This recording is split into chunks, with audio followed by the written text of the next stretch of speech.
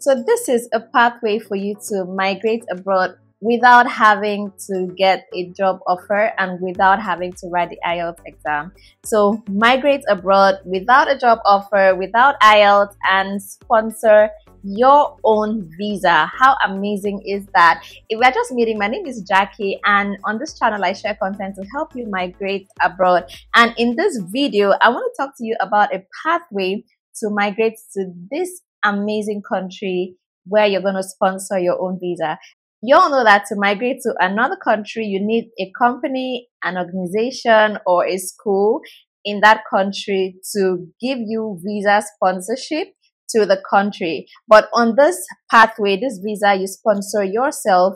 You don't need any job offer or any of that. And you don't even need to write the IELTS exam. I know this is something that majority of my viewers are looking for. You know, I think it's easy requirement. Low requirement is something that anyone can jump on, you know, if you meet the requirements, which are low. So in this video, I'm going to be telling you what these requirements are, who can apply for this kind of visa, and the documents you need, every other thing, you know, everything about this visa, the duration, if you can go with family or not, every single thing you need to know about it. So if you're loving this content so far, do give this video a like. That's a thumbs up. It's just a way of appreciating the content I share. So just hit the like button to support me so I would be motivated to make more videos like this. All right. Okay. So this is a digital nomad visa for Spain. All right. Spain has approved this new visa. It's the digital nomad visa. And I've done videos on this kind of visa before and I have a full playlist for all the digital nomad visas I've done on my channel. I've done that for Portugal, for Malta, for several countries. So do check the playlist. I'm going to link it up here and in the description box as well. So you can check out, you know, how to move to several other European countries without needing a job offer or writing the IELTS exam or any, you know, thing hectic like that. All right.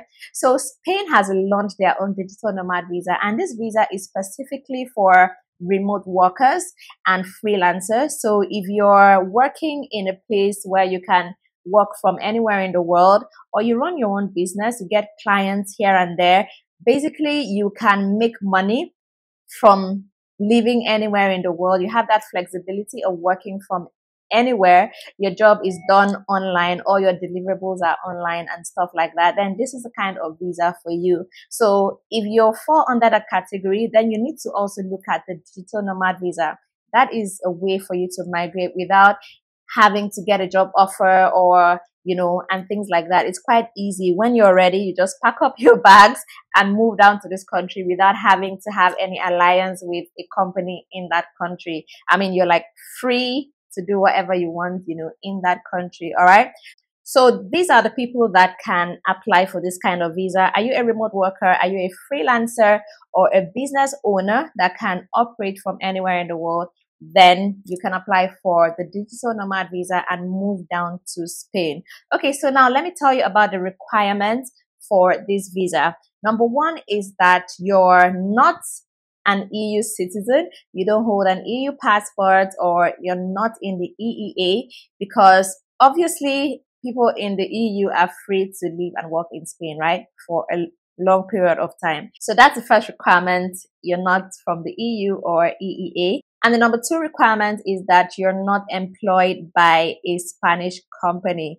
Like you don't work for a company in Spain. That's the topmost, you know, requirement. You don't work for a Spanish company. And then the third requirement is that less than 20% of your income is coming from Spain. So now as a freelancer, you can have you can have um, clients in Spain. You can be taking up clients from Spain, but they should not make up the bulk of your income. They only allow for 20% of your income to be coming from Spain. And the next requirement is that you've not held residency status in Spain for the last five years. So within the last five years, you've not had any residency in Spain and the next requirement is that you must have been working remotely for at least one year. So you can't be starting your remote work career from the point where you you know, you apply for your visa. Like your remote work career cannot begin in Spain, right? You must have been doing this for at least a year before you can apply for this visa. And the next requirement, which is very important, is that you must have a clean criminal record and you must not have previously been banned from entering Spain. And the last requirement is that you need to show proof of accommodation in Spain. Like you need to show proof of where you will be staying when you're in Spain. And you can do this by showing a lease agreement in Spain or if you have someone in Spain already, you can have them invite you or show proof that, you know, you're going to be living with them while you're in Spain. But they just need to know that you have a place to stay when you get to Spain. All right. Okay. So that's it about the requirements. So if you're eligible and then you meet the requirements, then the next conversation is how does it work, right? Okay. Let me tell you about how this digital nomad visa for Spain works. Okay, first of all, let's talk about how long this nomad visa lasts. How long can you stay in Spain on this visa? So the good news is you can stay in Spain forever. You can settle in Spain if that is what you want. This pathway is a pathway to settlement in Spain, like get permanent residency, get citizenship in Spain. Like this is super, super amazing. All right. So for the digital nomad visa, the first is initially valid for one year. Like when it's issued to you, you're going to be getting a one year visa. And on arrival in Spain, you have the option of changing this nomad visa to a temporary residence permit with a validity of a maximum of three years. So you get this visa, you arrive in Spain, you change it to a temporary residency permit for three years.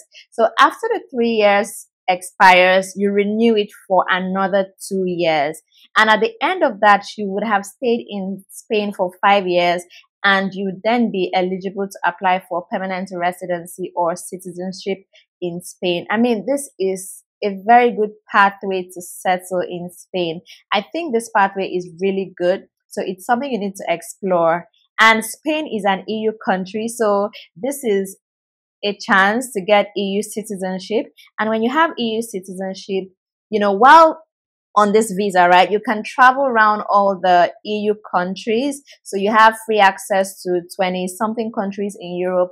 And then when you have your citizenship, you know, with Spain, it means you're an EU citizen. So you can actually migrate to any other EU country to live and work indefinitely, right? So I think this is a very, very good way to make it into Europe. All right. So if you're enjoying this video so far, please give it a thumbs up. That is a like just to support the channel. Let me know that you appreciate the content that I share. You know, your likes, you know, go a long way to encourage me to make more videos. So do hit the like button right now. All right. Thank you so much.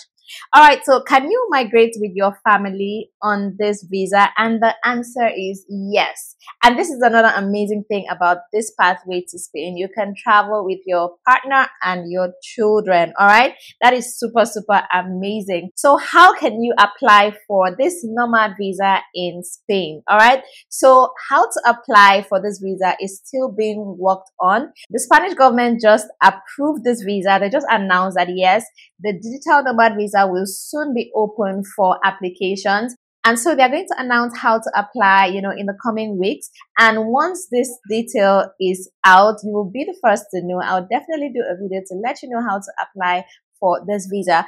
But I'm going to give you some details based on my experience with other digital nomad visas. So for other countries, right, they usually have this income threshold, like a minimum amount of income, monthly income you must have before you can apply for the nomad visa, right?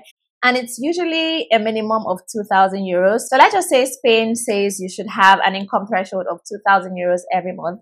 You'll be required to show bank statements to prove that you actually do receive payment of 2000 euros every month. And from my experience with other countries, it's usually a three month bank statement, right? So you need a three month bank statement to prove that you have an income of at least 2000 euros per month, for example. All right. And you'll also be needing proof of funds. You need to show proof of sufficient funds, you know, to care for yourself while you're living in Spain. And this proof of funds is usually for the duration of the visa. So you're going to be showing a one year proof of funds, maybe, right? Because the initial visa is going to be for one year. So you may be required to show a one year proof of funds in your account. So those are the kinds of things to expect. And then if you're a remote worker, other countries do require that you show your letter of employment and you may be required to show a letter from HR, you know, stating that you're allowed to work remotely, like you're allowed to work from anywhere in the world.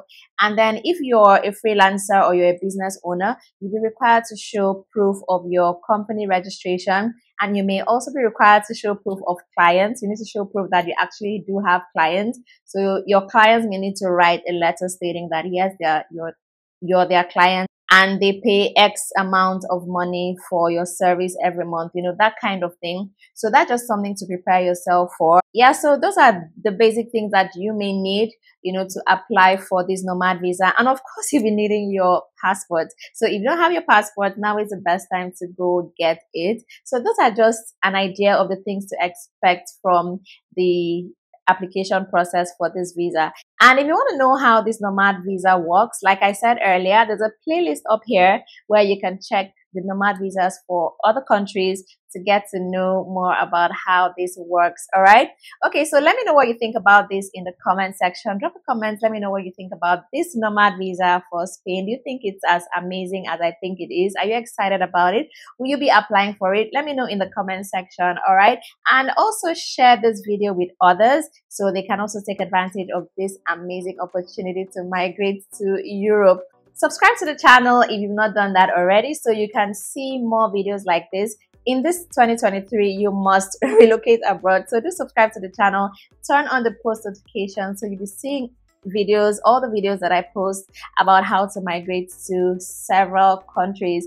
All right, my name is Jackie and I will see you in the next video.